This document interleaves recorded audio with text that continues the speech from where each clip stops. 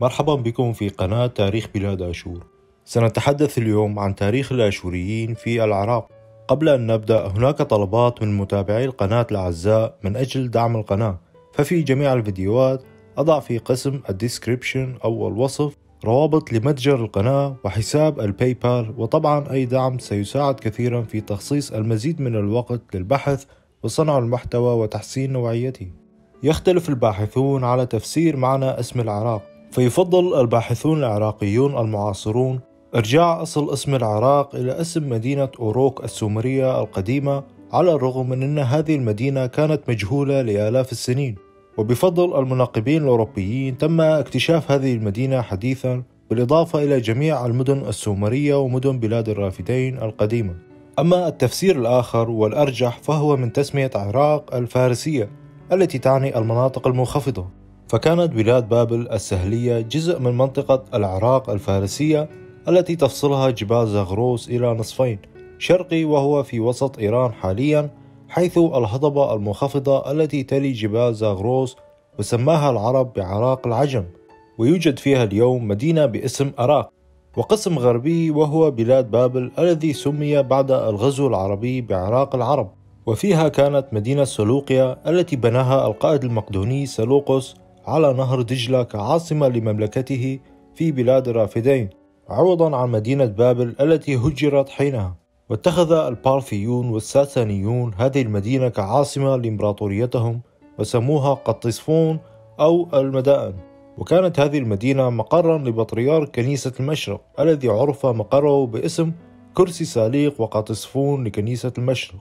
وهجرت هذه المدينة أيضا بعد الغزو العربي حيث بنى ثاني الخلفاء العباسيين أبو جعفر المنصور مدينة بغداد بالقرب منها وأصبحت منذ حينها عاصمة للعراق وأصبحت مقرا جديدا لبطاركة كنيسة المشرق. ومنذ الغزو العربي في القرن السابع الميلادي اختفت تسمية بلاد بابل بشكل نهائي وأصبحت تعرف باسم العراق الذي كان يشمل حينها المناطق السهلية بين الخليج العربي في الجنوب وحتى حدود مدن تكريت والحديثة في الشمال.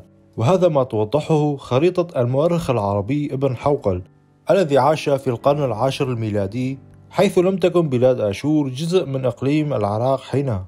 فقد سمى الفرس بلاد آشور باسم آثورة وبعد غزو العرب لبلاد آشور استمروا في تسميتها باسم آثور وأحيانا آقور.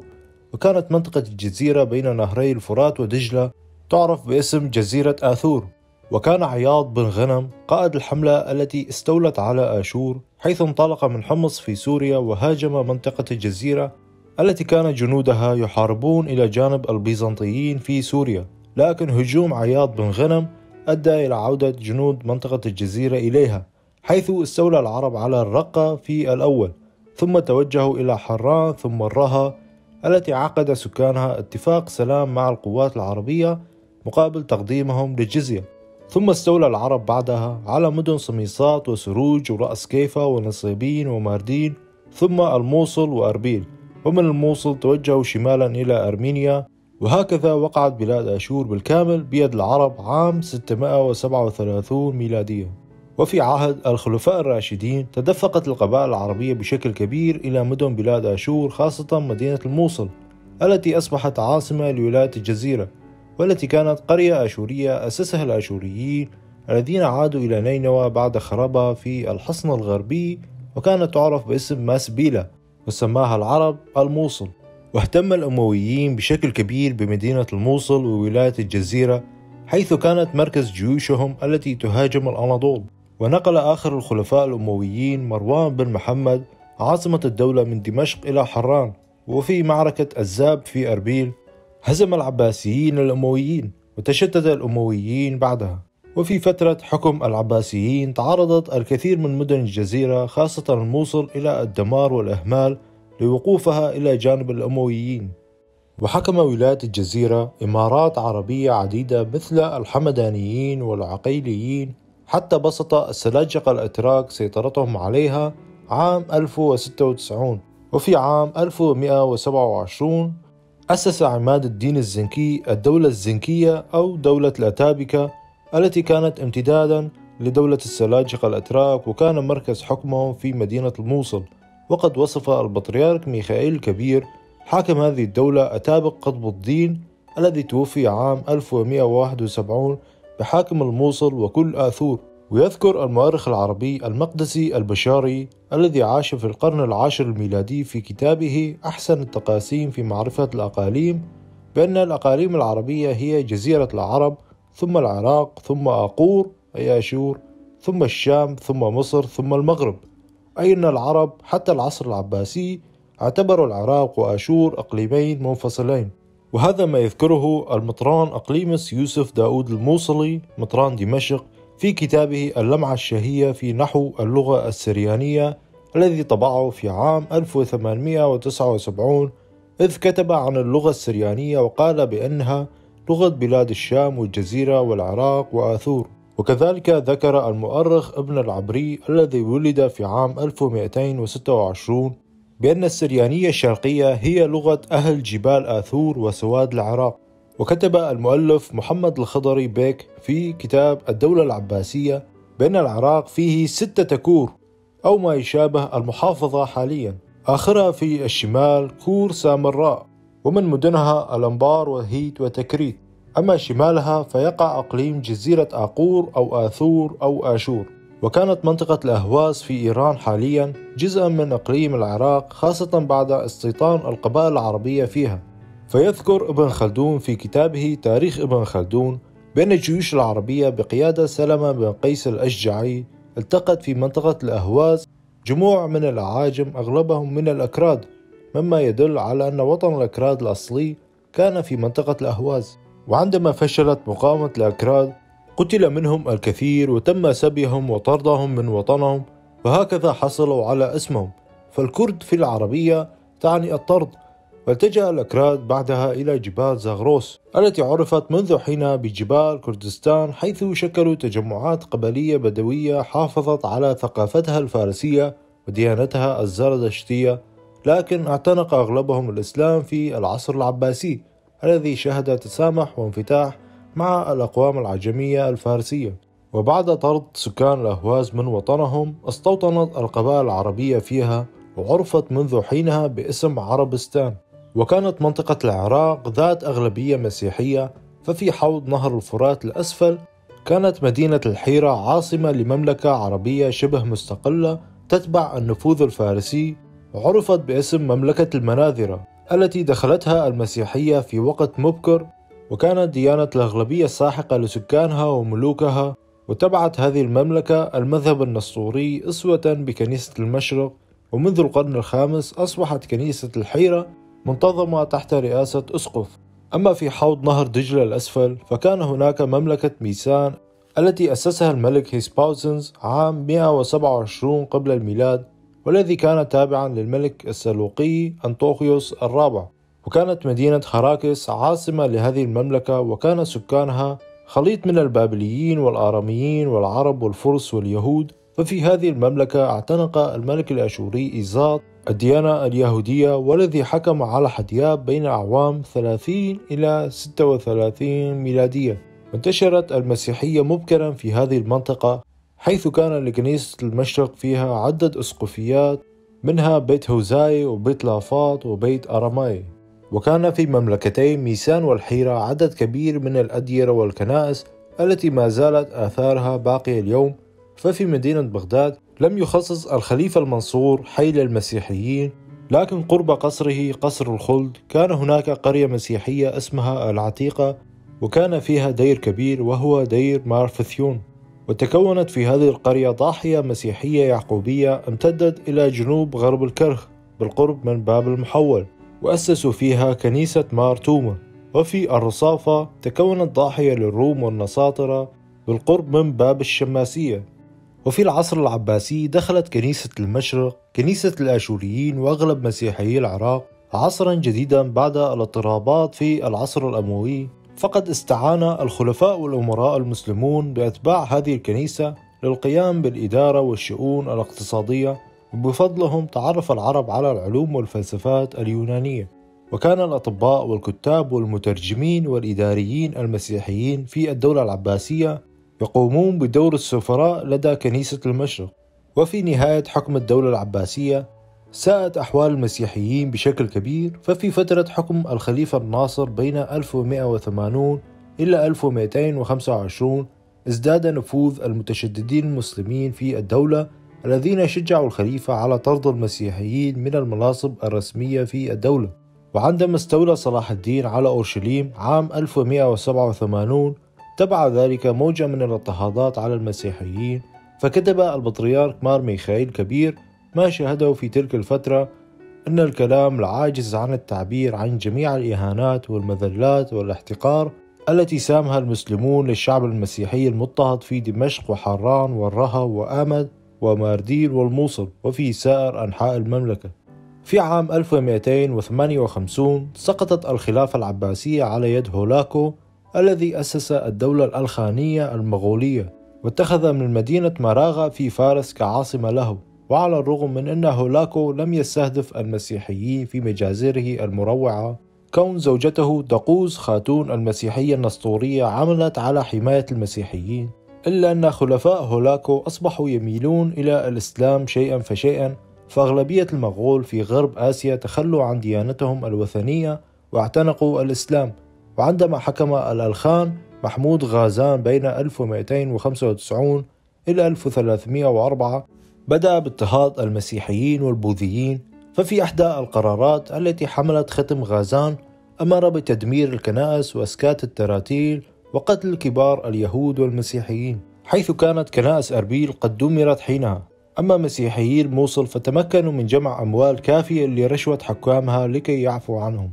وفي عام 1281 اختير يهوبالا الثالث ذو الأصل المغولي ليكون بطريركا لكنيسة المشرق الذي نقل مقر الكنيسة من بغداد إلى مراغة لكن بسبب اضطهادات محمود غازان نقل البطريركية إلى مدينة أربيل الذي كاد أن يقتل فيها خلال المذبحة التي تعرض لها الآشوريين المسيحيين الذين تحصنوا في قلعتها عام 1310 وفي عهد البطريرك تنخى الثاني نقلت البطريركية إلى مدينة كرمليس شرق الموصل. ففي تلك الفترة تعرض الآشوريين المسيحيين إلى اضطهادات شديدة اضطر بسببها بطاركة الكنيسة إلى نقل مقرهم بين الموصل وأربيل ومراغة وأرميا بحسب الوضع الأمني.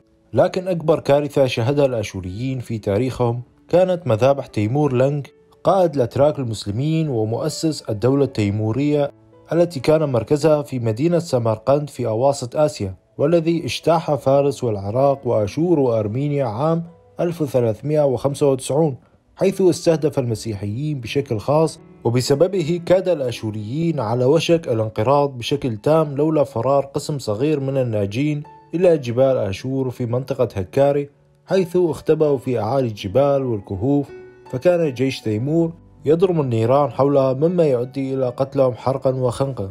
استمر خلفاء تيمور لانغ على حكم آشور حتى عام 1452 عندما تمكنت قبائل تركيا رعوية على حكم كامل إيران والعراق وأشور وأرمينيا حتى القرن السادس عشر عندما انقسمت دولتهم بين دولة الصفويين في إيران ودولة العثمانيين في آسيا الصغرى حيث انقسمت آشور بين هاتين الدولتين بعد وقوع معركة جالديران عام 1514 بين الطرفين.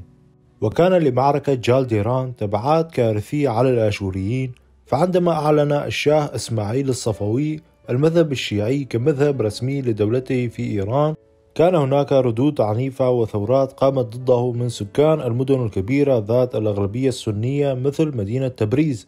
لذلك استعان هذا الشاه بقبائل القزل باش التركية الشيعية التي كانت منتشرة في شرق الأناضول وشمال غرب إيران لدعم حكمه وللقضاء على أعدائه وفرض المذهب الشيعي على جميع سكان دولته. وبمساعدة القزل باش استطاع أن يقضي على دولة الخراف البيض للأتراك الرعويين في شرق الأناضول التي كانت تفصل بين دولة الصفويين والعثمانيين. وهكذا وقعت أرمينيا وأشور والعراق تحت سلطة دولة الصفويين. أما سلطان الدولة العثمانية سليم الأول فقد أمر باستهداف جميع القبائل التركية الشيعية في شرق الأناضول حيث قتل حوالي أربعون ألفا من القزلباش حتى يقضي على أي تمرد محتمل.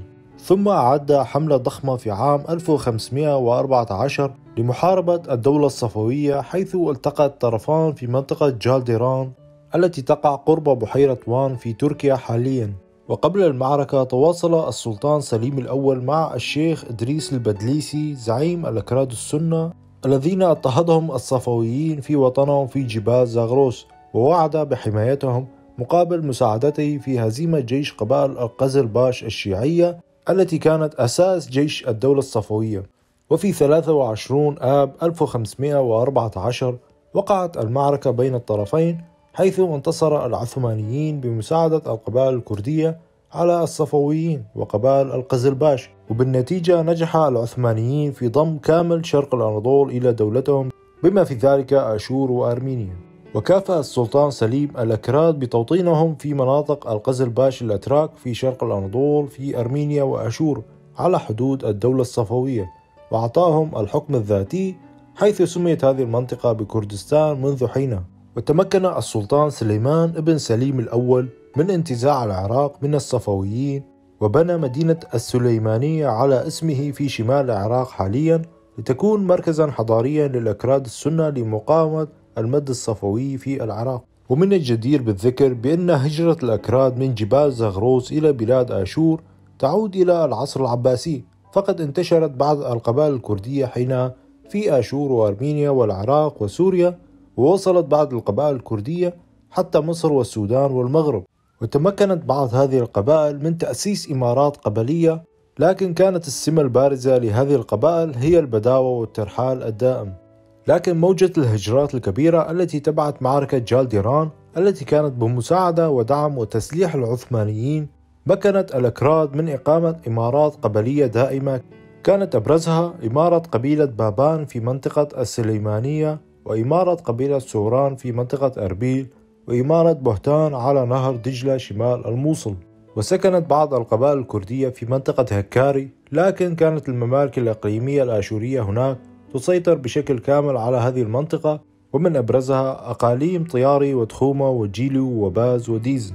وبسبب الدعم والتسليح الكبير للعثمانيين للأكراد الذين كانوا أهم عناصر الجيش العثماني في محاربة الصفويين وأيضا الروس في القرن التاسع عشر.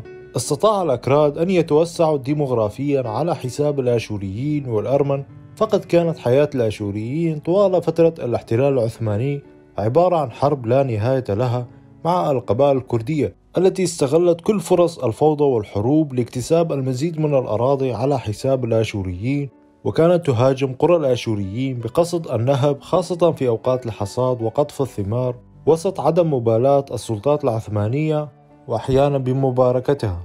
كانت من أبرز هذه الاضطهادات تلك التي مارسها محمد الرواندوزي الذي حكم إمارة سوران الكردية في عام 1813 ويذكر المؤرخ الآشوري هرمز أبونا في كتابه الآشوريين بعد سقوط نينوى معلومات عنه حيث كتب هيمن على الحياة العامة في بلاد آشور أي شمال العراق لمدة تزيد على العشر سنوات.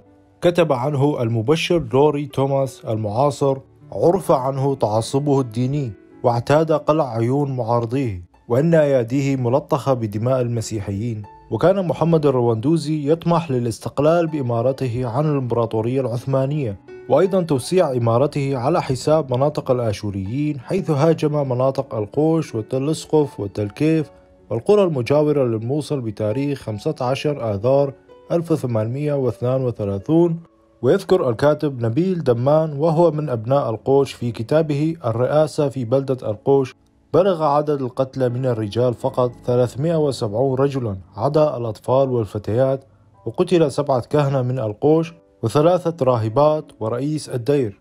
ويدون العراقي رفائيل بابو في كتابه تاريخ نصارى العراق وفي غضون ستة سنوات أو أكثر بين 1826 إلى 1832 كان محمد باشا أمير رواندوز يعيث فسادا في المناطق الشمالية العراقية وقد قتل عددا كبيرا من المسيحيين ثم أقبل إلى القوش وحاصرها وأباد من سكانها خلقا كثيرا. ووصلت مجازره إلى منطقة طور عابدين الذي قتل وخطف الكثير من سكانها وفي عام 1836 نجح العثمانيين في القضاء على تمرده وإيقاف مجازره المروعة التي راح ضحاياها الآلاف. وما أن أخمد تمرد محمد الرواندوزي حتى اشتعل تمرد آخر بزعامة بدر خان حاكم إمارة بهتان الكردية. وحليفه نور الله أمير أكراد هكاري في عام 1843 الذين حاربوا والي الموصل العثماني محمد باشا للسيطرة على منطقة العمادية وطلب الأكراد مساعدة الآشوريين في تمردهم ضد العثمانيين لكن رفض الآشوريين ذلك. فهاجم الأكراد قلعة العمادية في صيف 1842 لكن فشل هجومهم وألقوا باللوم على الآشوريين لرفضهم الاشتراك في هذا التمرد. لذلك تحالف بدر خان مع نور الله مجددا في صيف 1843 لكن هذه المرة للهجوم على أشوريي هكاري وسط عدم مبالاة السلطات العثمانية في ولاية الموصل. وكتب الآثاري الإنجليزي الشهير هنري لايارد الذي كان حينها يقوم بالتنقيب عن الآثار الآشورية في نينوى ودور شاروكين عن هذه المذابح البربرية الوحشية في كتابه البحث عن نينوى حيث يقول وفي الحال رأينا آثار المذابح وكلما كنا نقترب أكثر كنا نصادف آثارها أكثر وأكثر حيث الجثث كانت ما تزال مترامية فوق الشجيرات أسفل الجبل وعندما اقتربنا من منحدر صخرة كبيرة رأينا أنه مملوء بجدائل من شعر النساء تشدها الأربطة وقصاصات الأقمشة وكانت جماجم من مختلف الأعمار ابتداء من جماجم الأطفال رضع وانتهاء بجماجم العجز العديمة الأسنان. وكتب أيضا عن قصة أسر نساء منطقة طياري حيث يقول ذكرني جسر ليزان بقصة سمعتها عن بطولة عشر فتيات آشوريات من قرية سيرسبيتو الطيارية عند عودة الأكراد بعد المذبحة الفظيعة للآشوريين قادوا أمامهم تلك الفتيات عبر هذا الجسر الضيق وفور وصولهن قاموا سويا بإلقاء أنفسهن إلى النهر وغرقوا معا فضلنا الموت على العبودية. واستغل بدر خان تشتت الممالك الآشورية حيث هاجم كل منها على انفراد واستهدف بشكل خاص الأقاليم الآشورية الكبرى. مثل أقاليم طياري وتخومة حيث دمر الكثير من القرى وقتل الآلاف كما قاموا بسبي العديد من النساء والأطفال الآشوريين الذين تم بيعهم كعبيد بأعداد كبيرة في أسواق النخاسة الكردية خاصة سوق مدينة جزيرة على نهر دجلة. حاول الأشوري هرمز رسام الذي كان مساعد هنري ليارد وعمل كدبلوماسي في وزارة الخارجية البريطانية أن يستعمل نفوذه لدى والي بغداد نجيب باشا للضغط على بدر خان لإطلاق سراح الأسرى بمن ضمنهم أقارب بطريرك كنيسة المشرق الذي كان قد التجأ إلى مدينة الموصل. غير أن محاولاته لم تؤدي إلا إلى تحرير حوالي 150 من ضمنهم أخت البطريرك بينما تم توزيع البقية كغناء بين الأغوات الأكراد والأتراك. واستمرت هذه المذابح حتى عام 1847 عندما أرسلت السلطات العثمانية جيشا للقضاء على تمرد بدر خان. أدت هذه المجازر إلى مقتل أكثر من عشرة آلاف آشوري كما استفاد العثمانيين من توجيه تمرد بدر خان نحو الآشوريين للقضاء على استقلالية الأقاليم الجبلية الآشورية وأيضا تدمير آخر إمارة كردية شبه مستقلة وحكم هذه المنطقة بشكل مباشر حيث قسمت بين ولايات الموصل ووان. لم تتحسن حياة الآشوريين مع نهاية حكم الإمارات الكردية والحكم العثماني المباشر مع النصف الثاني من القرن التاسع عشر. فمشاهد من واقع حياة الآشوريين نجد أصداءها في المؤلفات الأدبية للراهب الآشوري يونان خمنايا الذي عاش بين 1832 إلى 1886 والذي عرف بشغفه بتعليم الآشوريين لغتهم الآشورية المحكية فقد كان ينتقل بين قرى قوتشانس ودركني ووالتو وسلابكن في هكاري إلى قرى سهل نينوى وزاخو ومدينة جزيرة من أجل تعليم أبنائها. وكتب عن الصعوبات الجمة التي كان يواجهها لتعليم شعبه حيث التخلف الثقافي والاقتصادي بسبب الحروب الدائمة والاضطرابات والاضطهادات وعدم الاستقرار الذي شهده إقليم هكاري بشكل خاص. وألف هذا الراهب قصيدة عن موت أطفال قرية ديركني الآشورية عام 1869 حيث كانت الطبيعة قاسية التي كان يعيش فيها الآشوريين في الجبال التي كانت ملجأ للآشوريين خلال جميع الاضطهادات والمذابح التي تعرضوا لها في تاريخهم. يضاف إليها ظلم الجوار غير الجار وتفشي الأوبئة والأمراض التي كانت تفتك بالكثير منهم خاصة الأطفال حيث كانوا يتمنون الموت سريعا. وانتقد الراهب يونا موقف اللامبالاة للسلطات العثمانية تجاه الآشوريين حيث يشير إلى أن آشوري الموصل وبغداد لم يكن مواقعهم أفضل حالا من آشوريي هكاري. وانتقد أيضا الإرساليات التبشيرية الغربية الكاثوليكية والبروتستانتية التي كانت تستغل معاناة الآشوريين. فمع حلول النصف الثاني من القرن التاسع عشر كان المبشرون اليسوعيين والفرنسيسكان قد نجحوا بالفعل في كثلكة جميع الآشوريين في نينوى وأربيل ودهوك تقريبا بالإضافة إلى أقلية في مناطق هكاري وأرميا فكانت هذه الإرساليات تقدم الرشاوي للسلطات العثمانية المحلية والقبائل الكردية لحماية القرى الآشورية وعدم مهاجمتها مما جعل القرى الغير محمية هدفا لهم. وكانوا أيضا يقدمون المساعدات السخية للآشوريين بالإضافة إلى تأسيس مدارس ومستشفيات لهم لكن بشرط اعتناقهم للمذهب الكاثوليكي. وكانت بداية هذا الانشقاق الكنسي في منتصف القرن السادس عشر بعد انشقاق المطران يوحنا سلاقة عن كنيسة المشرق حيث اجتمع في مدينة أربيل مع عدة مطارنة منشقين قاموا بانتخابه كبطريرك بديل عن البطريرك شمعون برمامة الذي عين بطريركا خلفا لعمه شمعون الرابع الباصيدي بعد إلغاء قانون الانتخابات لصعوبة إجراء هذه الانتخابات في تلك الفترة. وتوجه يوحنا سولاقة إلى روما ونال الشرعية من البابا يوليوس الثالث في تاريخ 20 3 1552 بعد مباحثات طويلة تعهد فيها بالانضمام لكنيسة روما الكاثوليكية وتم إعطائه ألقاب بطريرك الموصل وآثور وبطريرك الآشوريين الشرقيين والبطريرك الآشوري كما تؤكد وثائق أرشيف الكنيسة الكلدانية التي جمعها الأب الكلداني بطرس حداد. وأيضا كما ورد في مصادر لاتينية عديدة من تلك الفترة. وهكذا تواجد لكنيسة المشرق بطريركين في نفس الوقت بطريرك كاثوليكي مقره في ديار بكر وبطريرك وراثي مقره في القوش قرب الموصل. وكانت غاية الكنيسة الكاثوليكية هي دمج كنيسة المشرق بالكامل مع كنيسة روما وكسب كنيسة تابعة لها تسهل الدول الأوروبية خاصة فرنسا لكسب امتيازات من الدولة العثمانية لحمايتهم كرعاياها. والتدخل أكثر في شؤون الإمبراطورية العثمانية. لكن لاقى البطريرك المنشق معارضة شديدة بين الآشوريين المشرقيين وأدت محاولات التبشير بالمذهب الكاثوليكي إلى قلاقل وفوضى كبيرة. انتهت باعتقال السلطات العثمانية ليوحنا سولاقة وإعدامه في بلدة العمادية الآشورية عام 1555 وعندما أدرك المبشرين الكاثوليك استحالة إقناع جميع الآشوريين عملوا على تأسيس كنيسة مستقلة للآشوريين المشارق الكاثوليك وسميت بكنيسة بابل على الكلدان. ويختلف الباحثون على سبب اعتماد هذا الاسم لكن من المرجح أنهم اعتمدوا إحدى ألقاب كنيسة المشرق القديمة التي شاعت عند الرومان وهي الكنيسة البابلية.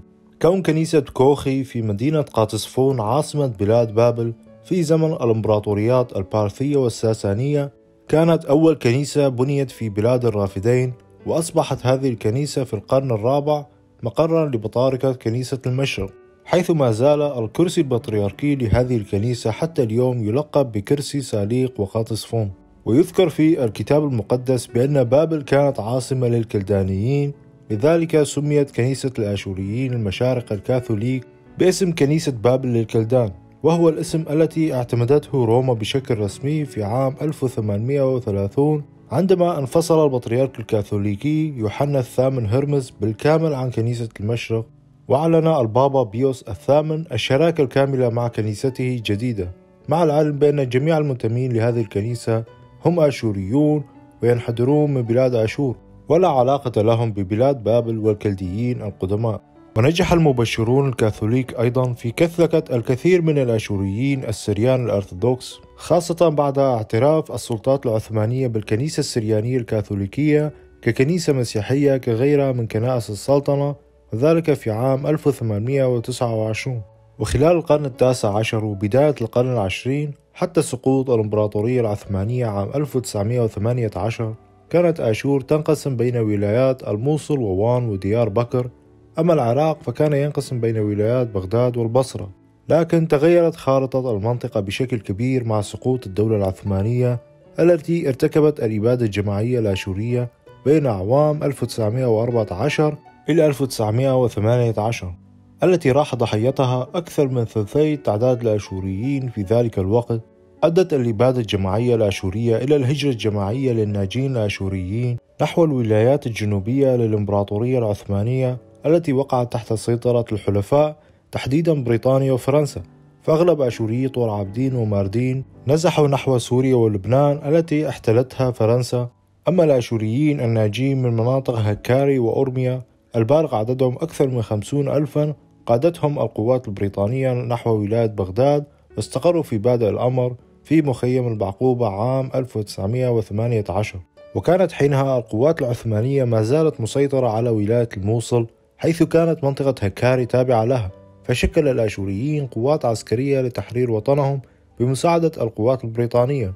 ونجحوا في طرد الأتراك من الموصل وأربيل لكن حلول فصل الشتاء وتخاذل البريطانيين أوقف تقدم القوات الآشورية لتحرير جبال هكاري موطن أغلب هؤلاء. فقد أراد البريطانيون استغلال آشوريي هكاري لحماية حقول النفط في الموصل بدلا من السماح لهم بالعودة إلى بلادهم. ففي 30 تشرين ثاني 1918 وقعت الإمبراطورية العثمانية اتفاقية استسلام مع بريطانيا معلنة هزيمتها في الحرب وطالب جميع الآشوريين من مناطق الموصل وهكاري وأورميا وطور عابدين بتعويضهم عن خسائرهم الفادحة في هذه الحرب عن طريق تأسيس وطن قومي لهم في هذه المناطق التي هم السكان الأصليين فيها. لكن أهملت بريطانيا وعصبة الأمم كل مطالبهم ففي عام 1921 قامت بريطانيا بضم ولاية الموصل إلى ولايات بغداد والبصرة وأسسوا المملكة العراقية بعد جلب فيصل ملك سوريا الذي طرده الفرنسيين منها وعينوه ملكا على العراق. وهكذا انقسم وطن الآشوريين التاريخي بين دول تركيا والعراق وسوريا وإيران.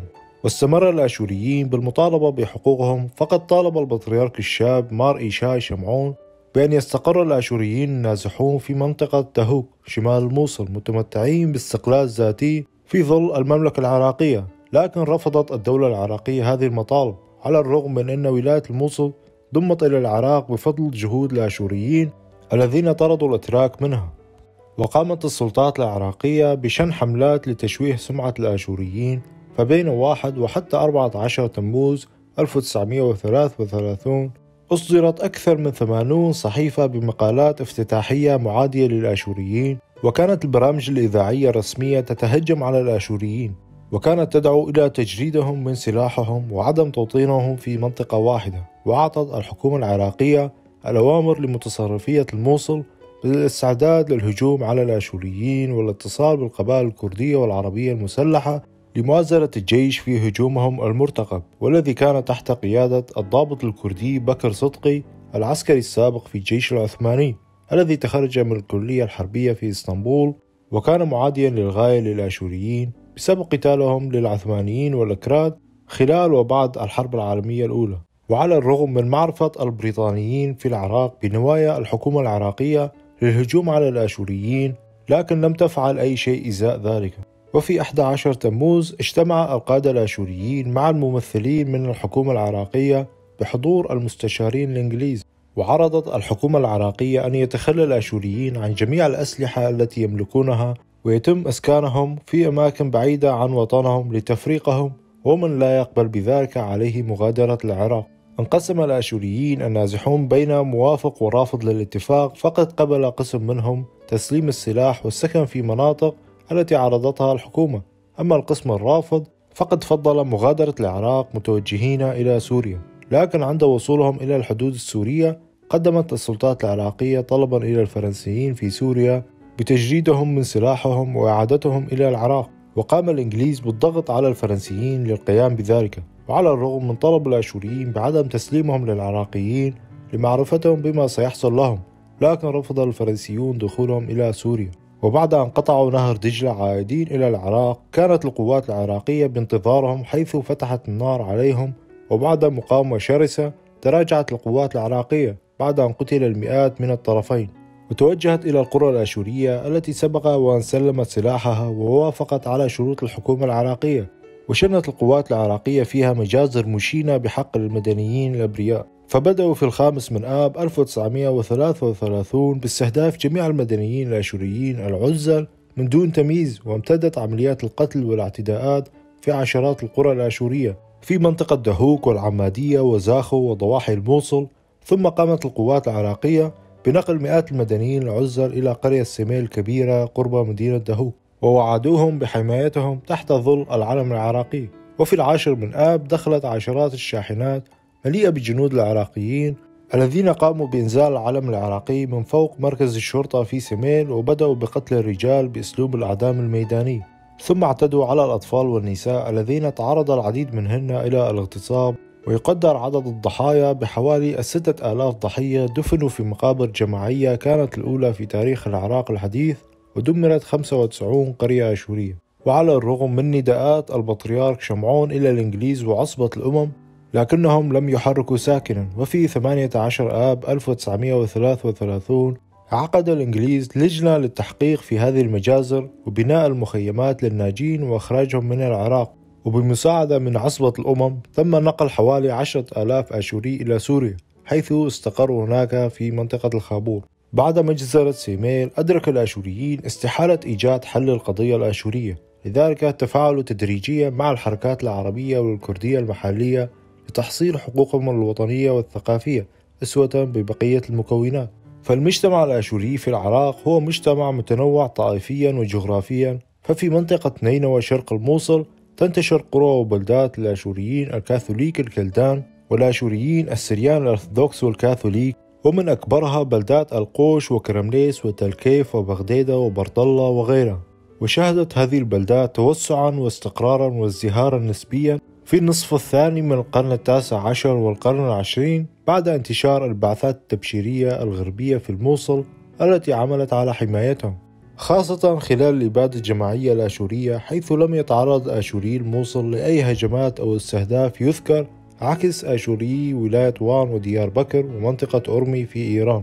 أما آشوري هكاري وأورميا النازحين فقد استقروا بشكل رئيسي في منطقتي أربيل ودهوك إلى جانب أبناء جلدتهم آشوريي تلك المناطق. فقد أسس أبن بارطلة يوسف سلمان يوسف الحزب الشيوعي العراقي الذي عزز التحالف والأخوة بين الآشوريين والعرب والأكراد والقوميات الأخرى في العراق. ففي إحدى بيانات اللجنة المركزية لهذا الحزب المنشورة في مجلة القاعدة يذكر أنه لا توجد بين العمال الآشوريين والكادحين من القوميات الأخرى أي تناقض وأنهم جميعا مضطهدون ولن يستطيعوا التخلص من مصاعب الحياة والاضطهاد والاستغلال دون التحالف والنضال. كما اهتم الحزب الديمقراطي الكردستاني بالآشوريين منذ تأسيسه في الأربعينيات ففي وثائقه الحزبية المرسلة إلى السلطات العراقية تذكر أن الحزب الديمقراطي الكردستاني يضمن للآشوريين والقوميات الأخرى الحريات الدينية والثقافية والحقوق الاجتماعية والاقتصادية والمسؤوليات المتساوية مع العرب والأكراد كما سيضمن لهم في المستقبل التمثيل في المجالس الدستورية والأجهزة الأخرى وفق تعدادهم. وفي عام 1958 وصل إلى الحكم حكومة الجنرال قاسم الذي أطاح بالحكم الملكي. حيث قدمت هذه الحكومة المزيد من الحريات والمساواة ولاقى الدستور المؤقت ترحيبا كبيرا بين الآشوريين والأكراد مما جعلهم هدفا للمتمردون أثناء عصيان الموصل في آذار 1959 ضد حكومة عبد الكريم قاسم.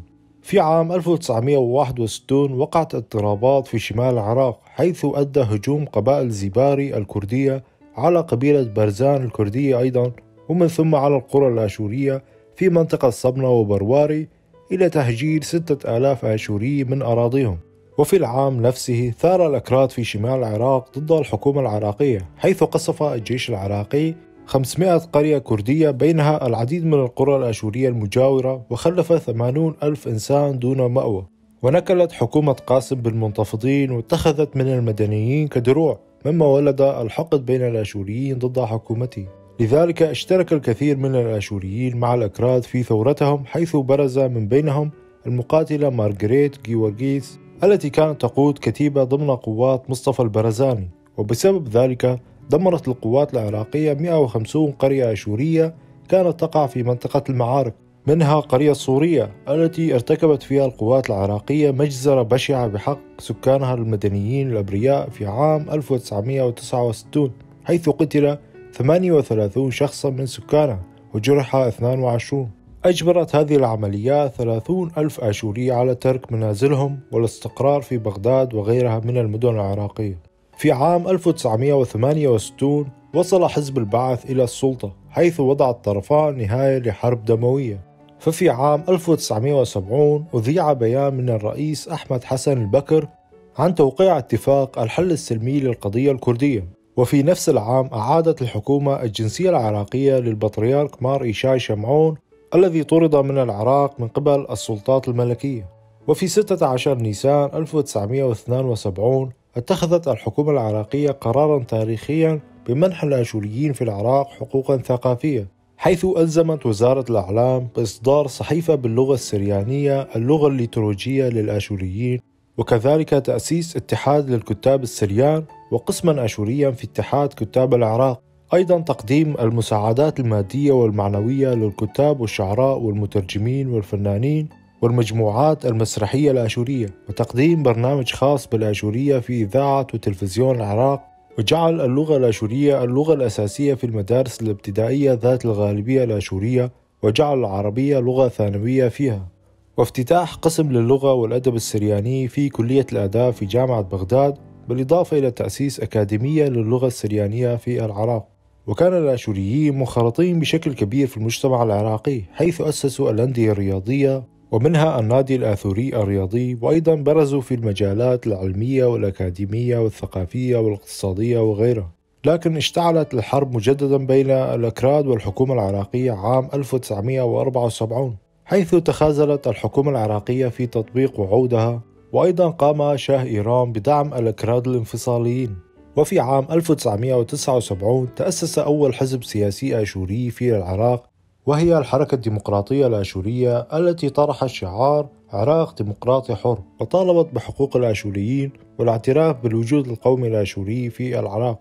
وشاركت هذه الحركة الأكراد في ثورتهم على حكومة البعث العراقية والرئيس السابق صدام حسين مما عرض أتباعها وقادتها إلى الملاحقات والعدامات. ومن أبرزهم القادة المؤسسين يوسف توما ويوبرت بنيامين ويوخنا إيشو حيث تم إعدامهم في سجن أبو غريب في بغداد في 3 شباط عام 1985 وخلال الحرب الإيرانية العراقية بين أعوام 1980 إلى 1988 تعرض شمال العراق إلى التدمير الكامل واستخدام أسلحة محرمة دوليا أدت إلى مقتل عشرات الآلاف وأدت إلى هجرة غالبية الآشوريين من أراضيهم بشكل دائم.